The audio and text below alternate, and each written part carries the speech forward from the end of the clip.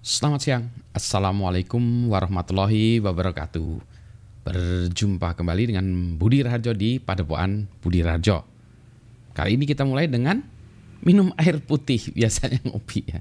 Kita mulai dengan minum air putih. Jadi inget, inget pemain bola Ronaldo tuh ya. Singkirkan, singkirkan, taruh, taruh air putih.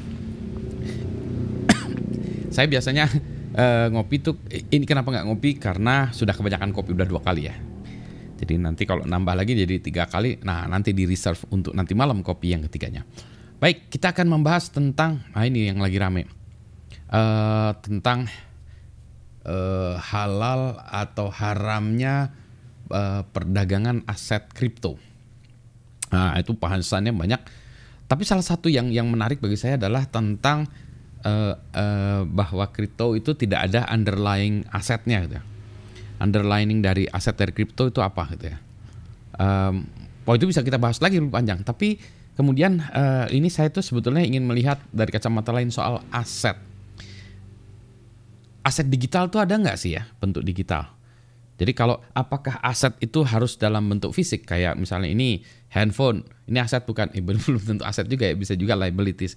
Ini ada barang fisiknya bisa dijual belikan. Oke, okay, handphone ini.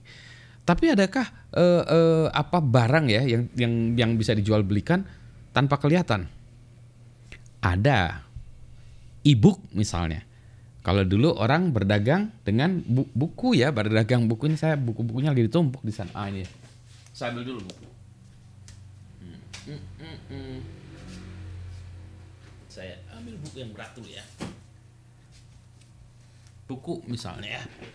Buku. Nah, ini buku dulu dijual belikan kayak mushaf gitu ya, buku. Karena ada set fisiknya. Bagaimana dengan e-book? Nggak ada set nggak ada aset fisiknya nggak ada ya bentuknya elektronik apa kalau uh, itu menjadi e-book itu bukan suatu aset ya, bukan suatu aset. Nah, bingung juga. E-book itu apa aset atau bukan ya? Nanti tolong dipertimbangkan. Nah ya, satu contoh. Contoh yang kedua, software. Software ini aset atau bukan? Software kan nggak kelihatan ya, uh, hanya zeros and one itu pun kalau kita bilang kalau kita kalau saya membahas tentang software itu ya the soul of a machine jiwa bukan raga ya. Kalau kalau raga bisa kelihatan ada jiwanya di sini. Jiwa itu ada nggak? Ya ada gitu. Ya. kalau nggak ini hanya sekedar raga. Demikian juga buku. Ah ini juga sebenarnya hanya kertas ya. Ini jualan kertas di kilo kertasnya, tapi kontennya. Ah ini isinya kan ya, soulnya.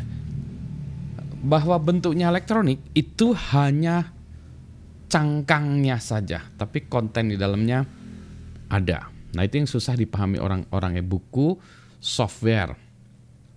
Jadi ketika uh, ini contohnya ketika kami ingin uh, mengamankan sebuah sistem kan kerjaan saya itu information security ya. Jadi mengamankan uh, sebuah sistem yang berbasis teknologi informasi. Yang diamankan apa? Yang diamankan tentu saja aset ya. Aset apa saja? Ya yang kita mulai dari hardware dulu kelihatan komputer, server, ah pokoknya yang, yang hardware-hardware gitu. Turun ya, tuh itu udah susah. Turun mendata aset hardware jauh udah susah. Software aset bukan. Kalau Anda beli software database yang harganya mungkin puluhan juta atau bahkan ratusan juta, tentu saja dia akan menjadi aset ya, aset. Jadi software itu aset ya, bentuknya nggak kelihatan. Aset gitu. Bisa dijual belikan, bisa. Saya beli uh, software tentu bisa saya jual lagi? Ya bisa juga ya. Tapi tergantung terms of conditionnya dari itu ya kepemilikan softwarenya. Ya bisa saya jual belikan enggak gitu. Tapi pada prinsipnya kalau saya buat beli sesuatu ya bisa saya jual lagi bentuknya software. Software itu bentuk yang enggak ada wujud fisiknya ya. Karena dia bisa saja kalau dulu mungkin dijual dalam bentuk disket gitu ya. Kalau sekarang bisa di download dari internet ya. Nggak nggak kelihatan bentuk fisiknya Data. Nah, kata orang itu data is the new oil ya. Meskipun saya kurang sepakat, tapi data itu aset atau bukan? Tentu saja tergantung dari datanya ya. Ada data, misalnya data nasabah ya, itu yang diperjualbelikan ya. Aset itu jelas ya. Karena yang membuat sebuah perusahaan itu berjalan itu adalah customernya dalam bentuk datanya. Itulah sebabnya kita mendapatkan layanan gratis dari berbagai penyedia layanan, katakanlah mungkin dari Google lah, dari Amazon lah, dari uh, Facebook grupnya dan seterusnya lagi kan ya. Itu yang yang ini uh, yang seolah-olah dijual belikan adalah data kita. Jadi data pun dapat dikatakan aset. Again, tidak semua data. Jadi, nah ini dia yang kita bentuknya bentuknya apa? Uang. Uang kertas kita dalam bentuk fisik. Sebenarnya yang penting itu kertasnya atau nilainya ya. Kan bukan kertasnya. Kalau kertasnya mungkin di kilo ya, uang uang di kilo ya. Uang itu kertasnya bukan kertasnya ya karena dia di kilo. Demikian juga demikian pula dengan logam. Uang logam itu bukan logamnya ya. Yang menarik dari uang kertas uang kertas itu yang lebih penting salah satu aspek yang paling penting dari uang kertas adalah nomor serinya. Uang kertas nomor serinya harus berbeda di setiap uang kertas. Kalau ada uang kertas yang nomornya serinya sama berarti itu uang palsu. Ya. Jadi kita tahu uang itu atau enggaknya adalah nomor serinya sebetulnya. Ya, jadi kalau misalnya saya uh, beli sesuatu uh, uang kertasnya kebetulan uang kertasnya nggak ada tapi nomor serinya ada. kalau memang saya dapat meyakinkan bahwa meyakin yang apa penjualnya itu bahwa saya memang pemilik nomor uh, kertas dengan nomor rekening dengan nomor serial di kertasnya itu adalah tersebut ya. Kalau saya berikan ke si orang yang bersangkutan terus orang bersangkutan itu bisa memiliki nomor serinya itu ya yang mana itu uang kertasnya itu Eh saya cari dulu ya uang kertas. Ntar saya cari dulu ada uang kertas nggak?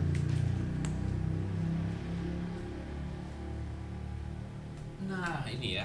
Kebetulan nih saya sorry tadi barusan tidak menyiapkan itu ya. Ah saya contoh uang kertasnya ini aja ya. Nah di sini ada uang kertasnya nih ya. Di, di maaf di bawahnya sini nggak ada gak kelihatan ya. Ini kebetulan FJL 340761 yang penting dari ini bukan kertasnya adalah nah salah satu yang penting adalah ini ya bahwa ini itu melekat kepada uang 5 ribuan yang ini ya. Jadi ini value dari kertas ini adalah 5 ribu.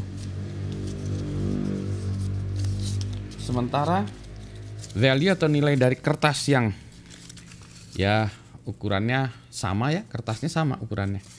Warnanya yang beda, masa warnanya ini satu sepuluh ribu, masa ini lima ribu, masa karena warnanya bukan kan ya? Uh, value ini di assign berdasarkan nomor serinya ini. Nomor serinya ini, nomor serialnya ini ya, nomornya ini kalau di sini namanya apa ya? Ya, nomor seri ini melekat kepada uang 10.000 ini. Nomor seri yang bersangkutan melekat kepada uang 5.000 ini. Hal yang sama juga kalau kita bentuknya ini, bentuknya ini kertas ya. Tapi bentuknya ini kita simpan dalam tempat lain, itu uang digital sebetulnya kan ya. Hanya raganya aja, wujudnya aja bukan kertas, tapi kan ininya sama ya. Jadi kalau ini saya hilangkan, tapi ini punyaan saya bisa dijamin bahwa tidak satu-satunya yang nomor ini adalah milik saya. Dan itu bisa dilakukan dengan kriptografi. Makanya disebut kripto kripto ya. Tapi sebenarnya pada dasarnya di belakang itu ada ilmunya namanya kriptografi. Ya. Nah itu dia ya. Nah jadi uang kertas ini dengan uang yang tadi ya yang yang di sini ya crypto money itu kalau menurut saya itu sama aja sih sebetulnya. Nah, sekarang masalahnya ya yang masalahnya kalau eh, saya sebetulnya kalau uang kriptografi sama ini sama sih. Yang menjadi masalah itu bukan itu kalau dari kacamata saya ya. Yang ini masih perlu diperdebatkan. Jadi kalau menurut saya tadi saya tidak ahli agama tapi mungkin ini memberikan pencerahan kepada teman-teman yang uh, memiliki landasan keilmuan agama, mungkin ini bisa menjadi bahan uh, apa uh, pertimbangan ya untuk uh, membahasnya. Nah, yang yang saya masih belum saya nggak paham itu adalah kalau uang ini, nah uang kertas ini ya bedanya dengan yang lain-lain ya. Serinya ini ini fix 5000 rupiah. Gak bisa ini nilai ini besok ini menjadi 5500 atau jadi 3250 nggak bisa ya. Ini yang yang yang bedanya ini tuh dengan uh, uang yang itu ya yang yang kripto tadi ya. Nah, itu yang yang ini ya. bahwa kalau ini uang lima ribu rupiah dijadikan konversikan dengan dolar bisa berubah, ah itu lain cerita ya. Tapi kalau secara ini nilainya lima ribu rupiah, lima ribu ya saja yang ini ya, yang ini.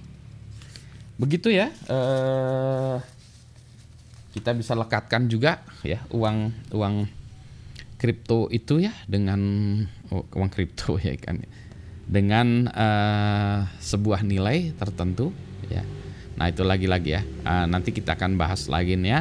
Uh, tapi lihat uh, video saya ya yang menganalogikan uang uh, cryptocurrency ini dengan kupon ya supaya ada bahaya bah bahasan juga ya.